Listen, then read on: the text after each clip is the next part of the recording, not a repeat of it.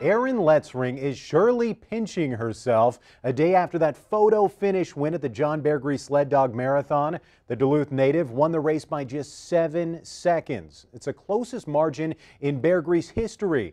KBJR6's Natalie Grant followed the teams up the North Shore this week and this morning caught up with Letzring and race organizers to take a look back at that exciting ride.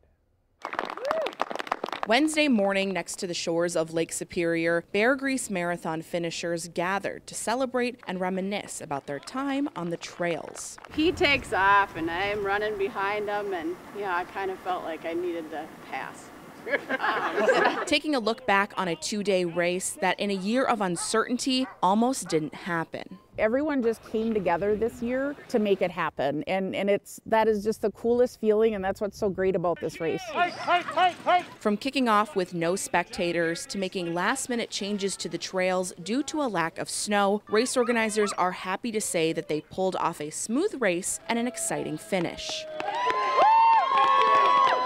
I have never been part of a race where it was just, it was a nail biter back and forth, watching those trackers move, hearing, you know, our trail team saying, oh, Ryan's in the lead, Sarah's in the lead, Erin's in the lead.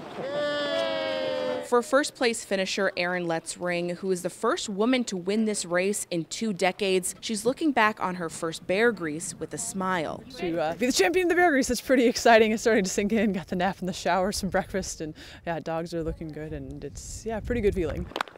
Letzring was one of the several racers from out of state who ran the Beargrease for the first time. But after her win, she says it definitely won't be her last. These races in the Midwest here are great. You know, the Beargrease, the UP 200, um, that kind of stuff. It's a lot of fun to go and do those. So I think we'll, we'll stick with that and you should see us again next year. Organizers hope this year's exciting finish and fierce competition brings a new light to the 40 year old race. The world knows about Beargrease now and it's it's time for us to capitalize on that for northern Minnesota and we're just going to keep building on it. Now everyone is heading back home for the off months and looking forward to doing it all again next year. And we did also speak to 2020 champion and second place finisher Ryan Redington following the close finish last night. He said he will be back next year and is looking forward to a rematch.